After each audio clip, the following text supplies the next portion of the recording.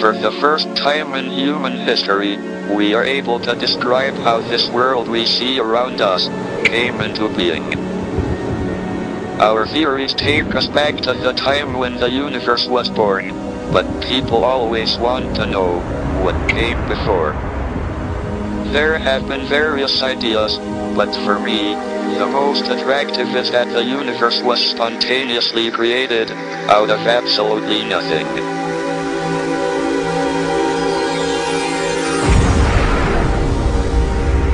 Less than a billionth of a second after the Big Bang, a bubble much smaller than a fraction of an atom forms. This is the universe. And then, something happened, triggering the most colossal explosion in history. In a billionth of a billionth of a billionth of a second, the universe grew from the size of that tiny point to something billions of miles across.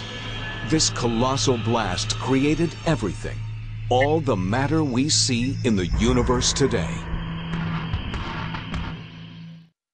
When one sees the Big Bang portrayed in a film, there's always a big bang, a noise.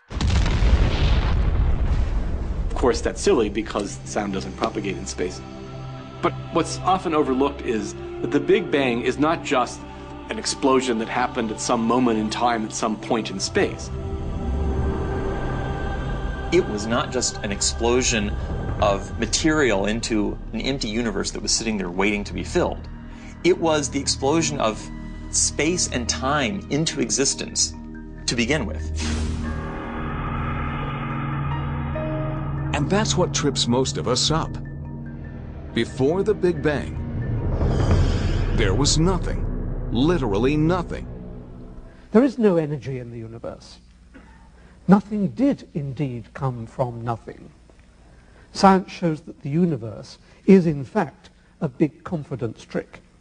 There is truly nothing here. All I want to leave you with is the realization that the universe is an engagingly reorganized form of nothing and that speculative acausal events are capable of seeing it come into being without intervention. No God was needed to make the universe or even to make it happen. My argument diminishes the role of a creator God to zero.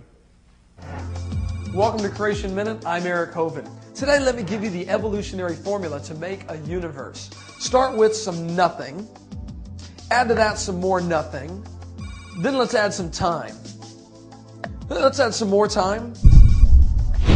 We've got it. It's a perfectly balanced universe. Look at that sun, moon, stars, planets. Everything's orbiting in perfect balance and order. You know, evolutionists theorize that this formula can enable everything to make itself, even people, with the exception of complicated man-made things like a microscope or a toothpick, but everything else about us in nature is the result of random chance and time. You don't even need raw materials. Those will make them. Surely that doesn't make sense. Out of nothing, nothing comes. So where did the universe come from? Why does the universe exist instead of just nothing? There must have been a cause which brought the universe into being. We can summarize our argument thus far as follows. Premise one, whatever begins to exist has a cause. Two, the universe began to exist. Three, therefore, the universe has a cause. Now, from the very nature of the case, as the cause of space and time, this cause must be an uncaused, changeless, timeless, and immaterial being of unimaginable power which created the universe. It must be timeless and therefore changeless because it created time, because it also created space. It must transcend space as well, and therefore be immaterial, not physical. Moreover, I would argue, it must also be personal. For a changeless, impersonal cause can never exist without its effect. If the changeless, impersonal conditions for an effect are timelessly present, then their effect must be timelessly present as well. For example, The cause of water's freezing is the temperature being below zero degrees centigrade. If the temperature were below zero from eternity, then any water around would be frozen from eternity. It would be impossible for the water to just begin to freeze a finite time ago. The only way for the cause to be timeless and for the effect to begin a finite time ago is for the cause to be a personal agent who freely chooses to create. The fact that we have a universe tells us that, that we need a, a creator. Because you see, the universe has a beginning and therefore requires a cause. The energy in the universe has a beginning and therefore requires a cause. And people say, well, you know, if, okay, fine, God made the universe, but then who made God? But you see, God is eternal.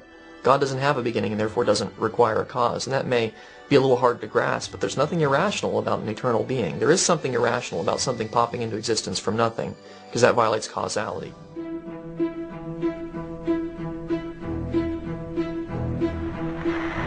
the beginning, God created the heaven and the earth.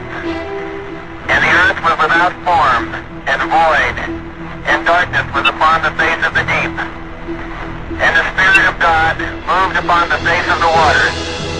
And God said, Let there be light. And there was light. And God saw the light, that it was good. And God divided the light from the darkness.